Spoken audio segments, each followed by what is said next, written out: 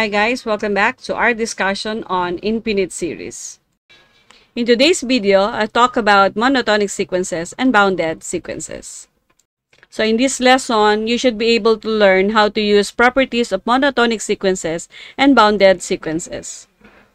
But what is monotonic sequence? So a sequence denoted by a sub n is said to be monotonic when its terms are non-decreasing. That is, a sub 1 is less than or equal to a sub 2, less than or equal to a sub 3, and so on and so forth. Or when its terms are non-increasing, that is, a sub 1 is greater than or equal to a sub 2, greater than or equal to a sub 3, and so on and so forth. Okay, like for example, suppose we are asked to determine whether each sequence having the given n term is monotonic. So for letter A, given this n term, a sub n is 3 plus negative 1 to the n power. So, so if we let the value of n as 1, so what is a sub 1? So by substitution, this is 3 plus negative 1 raised to 1 is negative 1 plus 3. So this is positive 2. How about if the value of n is 2? So again, by substitution, 3 plus negative 1 to the second power. So this is positive 1 plus 3, so this is 4. If n is 3, negative 1 raised to 3 is negative 1 plus 3, so positive 2. If n is 4, negative 1 raised to an even exponent is positive 1 plus 3, so this is 4. So as you can see, this is what? Um, this is. Uh, less than 4, but 4 is greater than 2. So this is not a monotonic sequence. And as you can see in this figure, if n is 1, your a sub 1 is 2. If n is 2, your a sub 2 is 4. So this is increasing, decreasing, increasing. So this therefore this is not a monotonic sequence. Okay, suppose we have another example uh, given the n term of the sequence b sub n is 2 times n over 1 plus n. So to show that this is monotonic, we assign value to n and then we solve for b, for b sub n. Okay, so post n is 1. So by substitution, 2 times 1 over 1 plus 1. So this is 2 over 2 or 1. That's your b sub 1. And then, if n is 2, This should be b sub n. If n is 2, then 2 times 2 is 4 over 1 plus 2. So that's 4 over 3.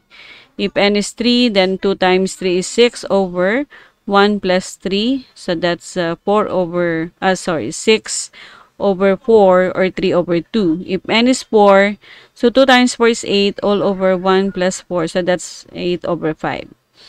And as you can see, your b sub 1 is uh, less than b sub 2, b sub 2 is less than b sub 3, and b sub 3 is less than 8 over 5.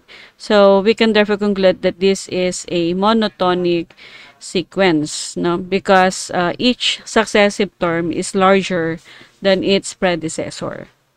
So, to compare this, or to see this in general form, we will compare the terms b sub n and b sub n plus 1. So this is your b sub n from the given you have 2n over 1 plus n and then we can define b sub n plus 1 by replacing all the n here by n plus 1. So you can write this as 2 times quantity n plus 1 all over 1 plus n where n is n plus 1. And then we multiply both sides of this inequality statement by the LCD of each of this uh, fraction. So, by multiplying, we cancel out 1 plus n. So, we have 2 plus n times the numerator. So, we get this, 2n quantity 2 plus n. On the other side, because this is n plus 2, and we multiply by this LCD, we cancel out n plus 2. So, we have 1 plus n as the quotient times the numerator. So, 1 plus n times 2 times n plus 1 is 2n plus 2. Then by distributive property, 2n times 2 is 4n. So this is 4n. 2n times n is 2n squared. Next, we multiply 1 plus n by 2n plus 2. So we have 1 times 2n, we have 2n. And then n times 2n, that's also 2n. Ah, sorry. Um, 2 times n is also 2n. So 2n plus 2n, we get 4n. And then product of the outer terms, 1 times 2 is 2. Product of the inner, 2n times n is 2n squared. Because 4n and uh, 2 and uh, 2n squared bo uh, both common on both sides of this inequality statement. So we can remove them by subtracting uh, 4n and 2n squared on both sides. Okay, so we subtract negative 4n minus 2n squared by on both sides. So because this is common when added, negative 4n plus 4n is 0, negative 2n squared plus 2n squared is also 0. So the left hand side is 0. On the other side, when we added 4n with negative 4n, this is also 0. 2n squared and negative 2n squared is 0. So you have 2. And we have shown here that because 0 is less than 2, so this inequality is said to be valid, which uh, uh, wherein we can we can conclude that the sequence is monotonic. Okay, another example. Again, suppose you're given uh, the n term c sub n is n squared over 2 to the n minus 1.